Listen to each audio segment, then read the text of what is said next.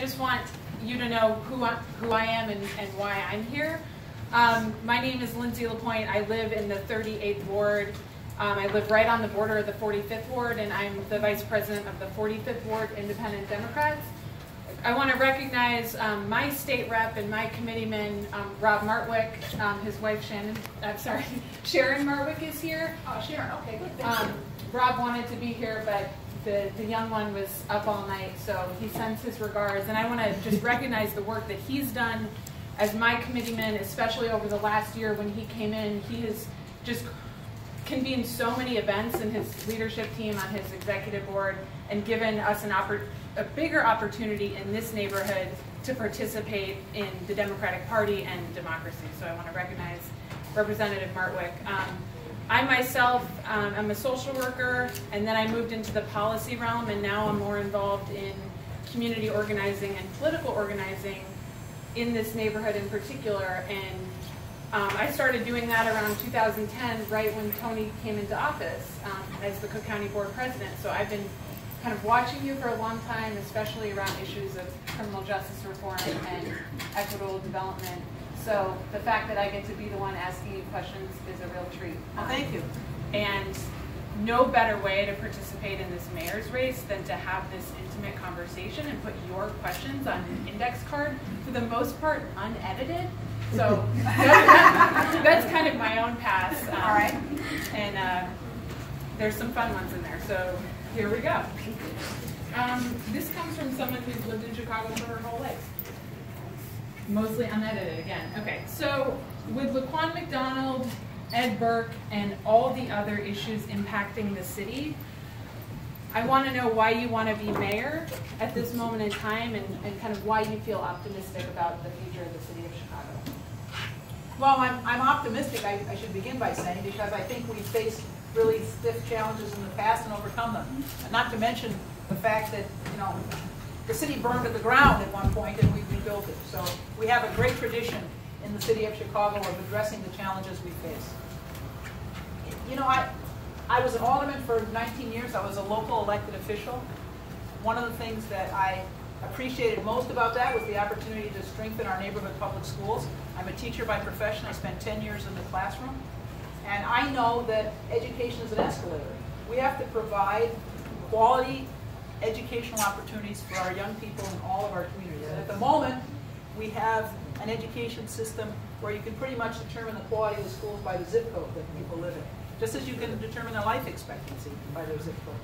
And sometimes those those life expectancies differ by you know as much as 10 years, and six miles separate the people involved. So there's a real challenge about opportunity and access to opportunity, and that focuses on our public schools. One of the things I enjoyed most was the opportunity to rebuild neighborhoods that were struggling.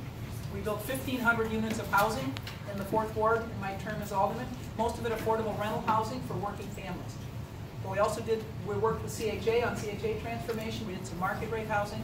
So community building has always uh, been something that's been really important to me and, and very attractive about being alderman, about being mayor. And last but not least, um, you know, we have to address the violence in this city.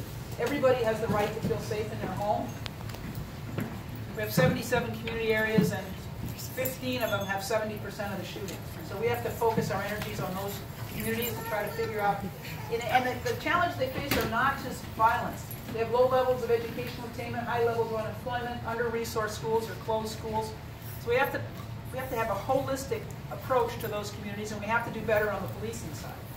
More training for our officers, as the Department of Justice report um, indicated, better supervision. We also have, we have to have a more effective police force. We have nationwide, about two-thirds of murders are closed. That is, they find somebody, they charge somebody. In the city of Chicago, it's less than 20 percent. So people in the communities that are most violent don't have any confidence that the police are going to solve the crimes. And, and that's right, because that hasn't been the case. We have to do better. Otherwise, you know, what happens is people lose faith in the, in the justice system and then they take the law in their own hands. They think they, they should retaliate or seek revenge on their own because they don't see that the criminal justice system is going to provide justice for them and their family. So we've got some real challenges, uh, but I look forward to the opportunity to address them with the help and support of the people of Chicago you were alderman for many years and you've led one of the biggest counties in America. Um, for both roles, can you touch on one regret you have for both roles and what you consider your biggest success as alderman and then as county board president? Uh, Early on in my tenure, there was a six-flat building that was vacant, uh, about a block, two blocks from my house.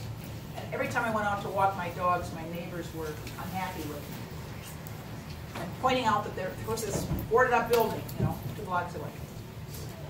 A developer came in with a plan to uh, build townhouses there. I think it was six or seven. Um, I wasn't real happy with the design, but for several years I'd been challenged by my neighbors about why I wasn't doing something about this boarded up building. Um, and so we went ahead with the project. And in retrospect, I should have insisted on a higher quality development and fewer units. But I, I just got so tired of being um, called to account by my neighbors uh, that I accepted uh, the, development plan, which in retrospect I, I would not have done it. And I sort of kicked myself about it afterwards and said I have to have much higher standards for the development in my ward, and we, we, uh, we executed those higher standards in subsequent developments. Um, in this job, you know, the thing I, thank you, the thing I, I really regret, we've had a lot of success in Springfield around juvenile justice. The first thing we did was work with advocates to raise the age at which you enter the, the, the adult system from 17 to 18. Now, my view is that no teenager should be in the adult system, but um, it was better at 18 than 17. Because the, the juvenile justice system is focused on rehabilitation and the adult system is focused on punishment. So that was the first success. The second success was reducing the number of crimes that would send a, a juvenile to adult court. It's called automatic transfer, AT. Um, and the third success was expungement. We were able to get legislation in Springfield that expunged the misdemeanor records and most of the felony records of juveniles. And we, we were, in Illinois had one of the lowest rates of expungement in the nation. We had less than 3% of young people who were eligible for expungement who were getting their records expunged. So we were able to make some real progress around juvenile justice. I'll tell you, we haven't been able to make much of any progress about adult justice, and that's it. Um, apparently, we as a state are prepared to acknowledge that young people make mistakes, but not that adults make mistakes. That's a regret. Oh, things I'm proudest of. Um, we did a lot of work in the fourth ward rebuilding communities that were struggling, and I'm very proud of that. Um, we had about 3,000 vacant city-owned lots in the ward. We did a lot of development. I think there, you know, maybe 300 left, so that we were able to put projects on 90% of them and, and dramatically uh, repopulate the ward, which I think is a, um, a big accomplishment. Where, On- I'm sorry, where is the fourth ward located? Sure. Uh, It goes roughly from, at least the time I served, it went roughly from the Museum of Science and Industry uh, down to Mercy Hospital. Um, It now goes into the loop uh, down to um, uh, Jones High School. Um, It's, it's uh, progressively pushed further north, uh, but it, and basically King Drive to the lake. That's, that's, those were the boundaries when I was alderman. Um, One of my, one of my proudest of, you know, well, I guess the, the two things I'm, I'm proudest of are the sustainability of our healthcare system, because that's what I said I was gonna work on when I got elected, try to make sure our healthcare system was sustainable, and we were delivering good care to people. And then the criminal justice reforms, which have, um, as I said, dramatically reduced the number of people in the jail. We put a lot more emphasis on, the diversion programs. Um, and now we're gonna move toward pre-arrest diversion as opposed to diversion after you're in the criminal justice system. Thank you. All right, we had several questions about pensions. Um, so, I'm gonna do some combining, um, but it's, it's pretty simple. What's your plan to address Chicago's pension crisis? Um, and someone else is asking kind of what you've done at the county level for the county pension deficit. Um, Well, let's start with the county. We had, we had real budget challenges in the first couple of years. We had a $487 million gap to close in our budget. Um, I said to the separately electeds, of whom there are 11, and this is going to be shared sacrifice, so there were 15% budget cuts uh, in each of the separately electeds' office. We refinanced some of our debt. We, we did a lot of different things to try to meet the challenge. There was no sort of silver bullet, no single thing that we did that, that um, enabled us to close that budget gap. The next year, the budget gap was a little less, it was like three hundred and, I don't know, sixty-five is what I remember, sixty-eight, something like that. After those first two really difficult years, I said to my staff, okay, we're, we're, we're managing the budget. What are the challenges that are down the road? And they said pensions. So we spent two years working with our unions. We got two-thirds of our unions to agree to a pension plan that we took to Springfield. Uh, but we could not get support in Springfield for that pension. Now, we didn't ask them for any money. All we asked them was to change the rules so that we could give more money, so that our employees can contribute more, so we could um, extend retirement ages out a little bit. Uh, but we couldn't get their help and support. And so finally what we did was, um, as you're aware, um, raise the sales tax by a penny to meet our pension obligations. And that has put us in, not only um, helped us meet our pension obligations, but put us in the best financial shape, the best fiscal shape of the city or the state. Now, you could say that's a low bar, but we are in much better fiscal shape. We have investment grade bonds. Um, we're in much better fiscal shape than either of them, and it was because we made some difficult decisions. You know, my view is, and the Supreme Court has said, you know, you pledged, you- made a commitment to your employees, this is the commitment you have to honor. And if you don't address your pension crisis, you just pass it on to your children and your grandchildren. And I wasn't prepared to do that. It's like having a credit card and paying either the principal or the interest. Um, We're gonna face some tough challenges in the city. There will be no single silver bullet, no magic solutions. We'll have to look at a variety of options. I've talked at the importance of um, looking at TIF reform. Tax increment financing districts were supposed to be a tool to revitalize struggling neighborhoods, but almost all of the downtown is in one TIF or another.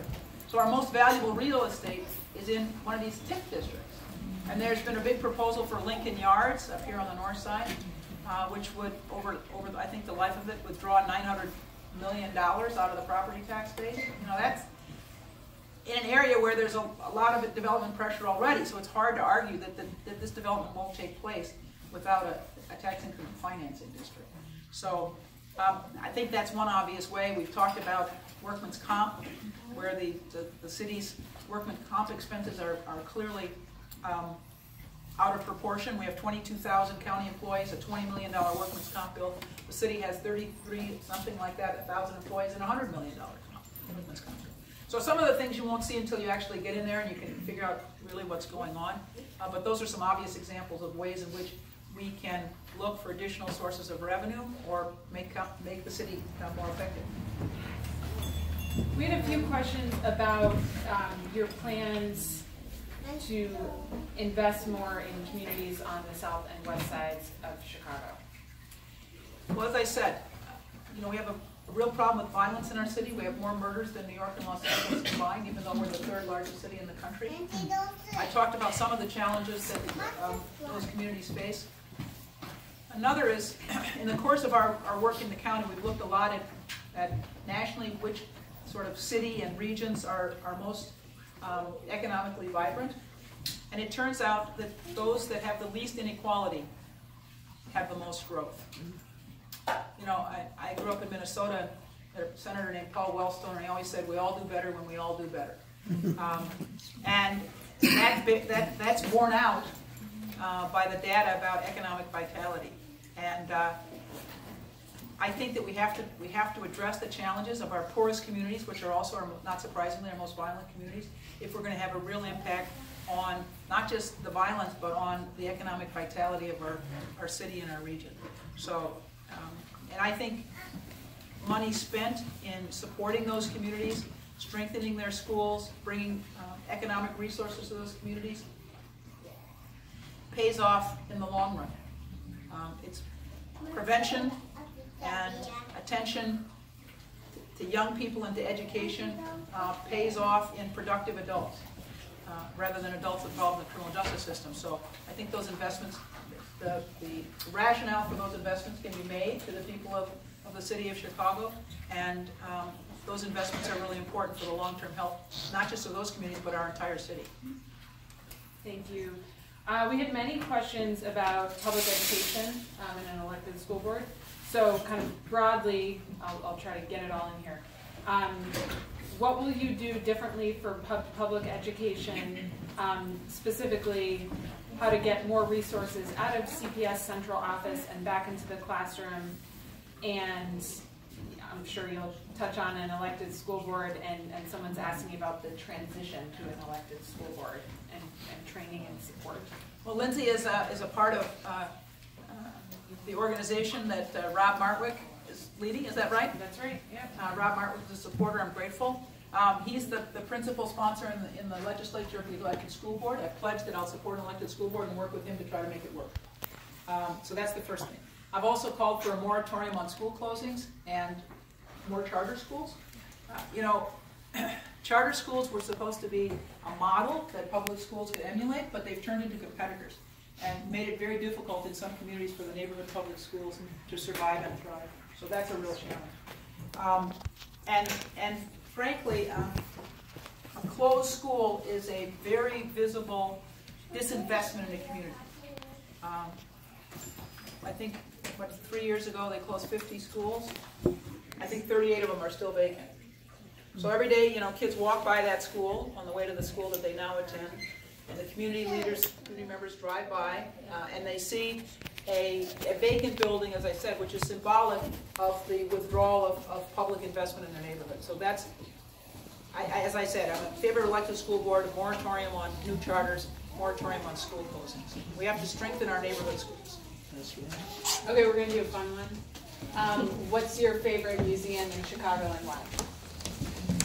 So I'm a history teacher, it won't surprise you that my favorite museum is the Field Museum. All right, that was quick. Um, what's your favorite deep dish pizza in Chicago? Ah, I need time to find the next good question. Giordano's.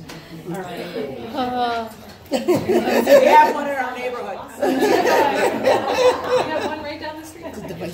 Okay, um, this is pretty specific, but I like it. Um, what sets you apart from other progressives in this race?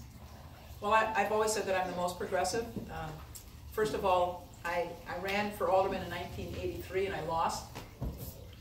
Ran against the machine and I lost. I ran in eighty-seven and I lost. I won, beat the machine, uh, in nineteen ninety-one, hundred and nine votes out of eleven thousand cast. Um, as I said, when I was in city council, I was a- one of the founders, one of the three founders of the Progressive Caucus. Uh, I was the sponsor of every single affordable housing and living wage ordinance that came before the body. Again, one of five votes against the, against the parking meter deal. You know, and as, as county board president,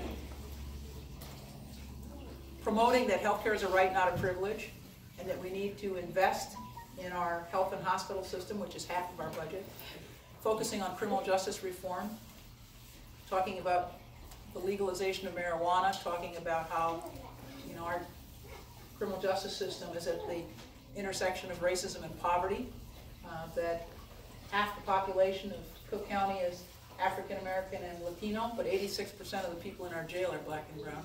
Um, those are the kinds of things I've been saying for the last eight years, in which, uh, in, in my capacity as county board president, and, and I think those are messages that need to be delivered, and they haven't been, um, delivered with the same, uh, intensity and commitment to change that I've been delivering for the last eight years.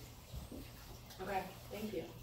Um, this is a real specific question, but I'll zoom out, but I want to honor the question. So the question is, gentrification is a big issue in Pilsen. Um, so do you have any remarks about that? But I'll zoom out and just kind of ask about your thoughts on gentrification and displacement overall in the city of Chicago. Well, first of all, I've, I've said that I would support Representative Will Guzzardi's efforts to lift the ban on even talking about rent control. That's the first thing. Um, the second thing is, as I said, we built fifteen hundred units of housing when I was alderman. Most of that was affordable rental housing. Most of it was affordable rental housing. One of the ways in which you have to address gentrification is to build as much affordable housing as you can across the city. So even if the, if there are macroeconomic changes, there's still a basis, um, a, a foundation of affordable housing for people who, for working families in the neighborhood. Um, and I think that it's, it's very tough to anticipate um, which communities are gonna become hot, so to speak. Um, and, and one of the ways in which you can, um, you can address the fact that it's not always easy to predict is to try to be sure that there's as much affordable housing everywhere as you possibly can. Um, So I, that would be a focus, trying to build and rehab as much affordable housing across the city as we possibly can. Great, I just want to shout out to my people at Neighbors for Affordable Housing on the Northwest Side. We've been fighting for a, a building in the 45th Ward, um, and I know that your agenda aligns with what we're doing, so I appreciate that. Um, so this is a this is a kind of a, a woman's event for Toni, so this question is appropriate. Um, it specifically asked me, sharing that more women need jobs um, in, in my community and in the city of Chicago. Um, and kind of we need your help um, as mayor on that subject. So can you just, just talk about kind of the status of women in Chicago and, and address this question? Well, one of the things that um, we did early on, uh, the city and the county combined their workforce initiatives. There was a mayor's office of workforce development and a, a city, uh, I'm sorry, a mayor's office of workforce development and a county office called the president's office of employment training, POET and MODI. And we combined the two of them because people work in the city and live in the county and vice versa. It didn't make sense to have two separate entities since you know, this is the county is a is an entity. Um, so we put put our our Department of Labor money together, spun it off as a not-for-profit, which now um, can get philanthropic and corporate support as well as government support. Uh, It's called the Chicago Cook Workforce Partnership. And I'm really pleased with the work that they've been doing, and we need to um, support that work with the leverage of the mayor's office, trying to ensure that, um, that the business community in Chicago knows how important it is that we support our, our workers. That's why I've, I've been in favor of the Fight for 15. You know, $15 an hour will enable a family of four to be just above the poverty level. It's not an arbitrary number. It's the number that will take a family of four just above the poverty level. And so I've been uh, a strong proponent of the Fight for 15 uh, since the very beginning, and recently announced that we should proceed beyond July 1st of this year to raise the minimum wage 50 cents uh, an hour every six months until we're at $15 an hour. This question is about environmental justice. What's your plan to make Chicago a leader in environmental justice? Well, one of the first things that Rahm Emanuel did was um, eliminate the Department of the Environment, which, given the challenges we face globally, doesn't make a lot of sense to me. So first, we'll, we'll reinstate the Department of the Environment. The biggest environmental challenge I think we face is lead in our water. So we're going to have to do testing citywide. I mean, the, I think the federal requirement was 50 homes every three years. Well, that's ridiculous. I mean, we have to do citywide testing, and then on the basis of what we learn from the testing, prioritize capital investments in replacing uh, water service lines to our homes and buildings. And this is going to this is one of the biggest capital projects the city's ever going to undertake. But it's critically there is no level of lead that's safe to have in our drinking water. There is no level of lead. So and and the city mandated uh, lead water service lines until 1986, when the federal government said, you know, look, this is lead is dangerous, and then they then they said, okay, you don't have to do that anymore. But um, so we have since since the city obligated people to use lead water service lines long beyond the point when people realized that lead was dangerous. Um, we should, as a city, test, figure out where our priorities are, and get to work on replacing lead service lines. We have to do the assessment. There's no point in just starting randomly. Do the assessment and then prioritize the work and get going. And we're going to have to, we're going to need federal, state, and local resources. Um, hopefully this is something that, that we can get addressed in the capital bill, that one of the capital bills will be coming out of Springfield, get some resources there. We're going to have to look for federal resources uh, related to the Environmental Protection Agency, um, and we're going to have to use our own local dollars. So it's a, it's a multi-level solution, but that would be the priority. This is a hyper-local question. I also saw it on Facebook, so I want to get it in. Um, students at Carl Schurz High School um, are wondering if you're planning to attend their mayoral forum discussion this Monday. I don't have my calendar, so I can't tell you. Some of your staff heard that. Um, Where's Chris Schaefer? Here. All right, Chris, check and see, would you? Another fun one. Uh, do you support the Chicago Dibs winter parking system? Uh, it's a Chicago tradition. um, what's the first thing that you would do if you could? You know, I, I think it's customary to give a speech when you're sworn in, and, and one of the things that I've got to talk about is equity. You know, we've got to have a, a city in which there's opportunity and equity. And, you know, there are lots of ways that the inequities are pretty damning. One is our public schools, one is our infrastructure investments. I was talking to somebody from Friends of the Parks the other day who was talking about investments in parks across the city. Uh, and that we've, we've kind of um, fallen back to the bad old days where the, the African American and uh, Latinx communities are clearly underinvested in. You know, there was a suit against the park district for a long time. Um, and the argument of this activist was, you know, we're sort of back to the terrible old days when it's quite clear that resources are not out- allocated equi- equitably. So I, the first thing I would do um, is talk about how the lens through which we need to look at, at, at activities in city government is an equity. Um, okay, I think this is a hard one for a lot of people to understand. I'm sure you have an amazing answer. Um, can you talk about reconciling the worlds of police accountability, really important right now, and criminal justice reform and how those things fit together? Well, I talked a little bit about police accountability. We need better training. You know, we, we haven't invested sufficiently in the training of our police officers. We've done them a real disservice. We need to invest more in, in crisis intervention training, de-escalation strategies. We need to figure out how we're going to address the terrible uh, issues of, of, of inability to close murder cases and shoot. By the way, the closure rate for shootings is less than 10%. So the closure rate for murder is like 18% against, against a national average of 62 or 63. So we've got some real challenge about training, around supervision. The, the national model is eight to 10 officers for every sergeant. We've got some districts in which sergeants have 30 officers to supervise.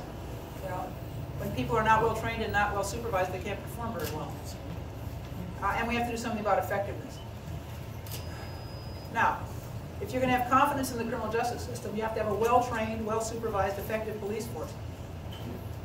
Uh, But you also have to do a number of other things. Uh, In the county, we, we are responsible for the, the courts, as Commissioner Degnen can tell you, the courts and the jail. Um, But we weren't putting any money until I came into office into trying to flow, the st- stop the flow of people into our criminal justice system. So we began investing in community-based organizations that do anti-violence, anti-recidivism, restorative justice work.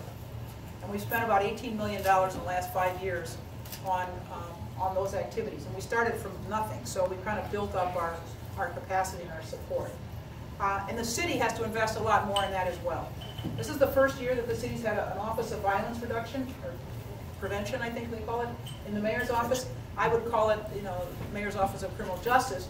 Uh, But that office should focus on policy, it should focus on bringing the stakeholders together to try to address our public safety challenges, and it also should be the point of, of grant administration. And although there's some money for grants in the present office, it's basically consolidating grants that were listed in the budget elsewhere. What we need is more money. Um, We pay a terrible price as a city for the violence, and it's not just the, the tragic deaths and the ripple effects in the communities that are most violent, it impacts all of us.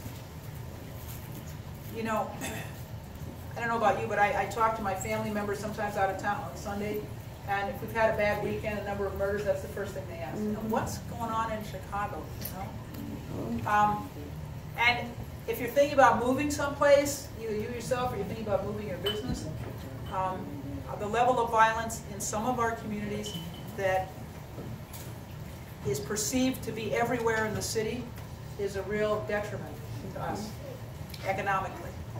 So we have to, we have to address it for the social justice reasons first, but it also has an economic impact addressing it. Okay, we have some pretty specific questions.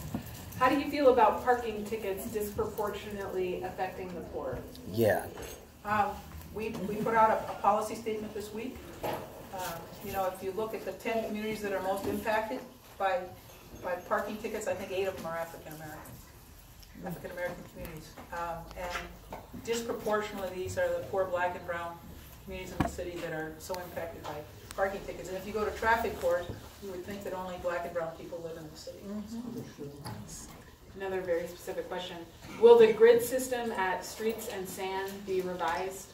Um, When I was alderman, one of the, um, one of the most effective parts of our uh, operation was our ward office and our ward superintendent.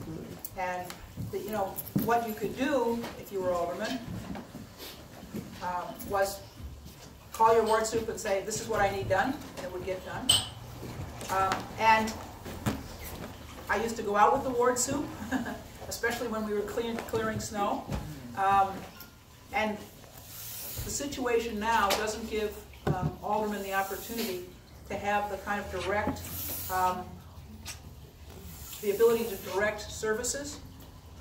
Uh, So that's a challenge, I'll have to look at it. I I will just tell you that I continue to get complaints that not all parts of our city um, are treated equally when it comes even to snow removal. That some parts of the city get cleaned quickly and, and, and thoroughly, and other parts are clearly at the end of the priority list. And you won't be surprised with which communities those are, so. So this is a really specific question about um, the connection between animal, excuse me, animal abuse and domestic violence. Um, So you can ad- address that if you want, kind of what are your thoughts on that intersection of animal abuse and domestic violence, but I would ask you to kind of talk more broadly about kind of the state of domestic violence. Well, I think that um, people who are unwell and abusive are likely to abuse um, the creatures in their home as well as the people in their home, so um, that's a real challenge. You know, I think that I've talked about a little bit in, in relation to the police, that we need better preparation for our police in crisis intervention, and that's often domestic violence situations that police are brought into, um, and de-escalation strategies. You know, I think we need to um, provide more mental health services. You know, the city closed seven of its 12 mental health clinics. And the argument was made that this was to save money. But I will tell you that it doesn't save money, it just shifts costs. So, you know, if you close mental health clinics and people don't have access to treatment and meds, we find that, that more people show up in our emergency room at Stroger Hospital in crisis because they haven't got, haven't gotten access to their meds or their treatment. Or they end up acting out in ways that put them in the criminal justice system. So it doesn't save costs, it just shifts costs from the city to the county, to our public health system, to our public safety system.